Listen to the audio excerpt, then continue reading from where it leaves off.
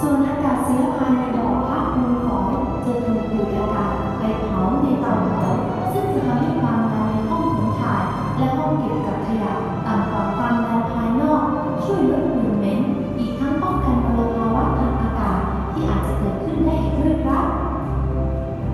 และตอนนี้ขยะก็ถูกป้อนเข้าสู่ส่วนที่สองคือระบบ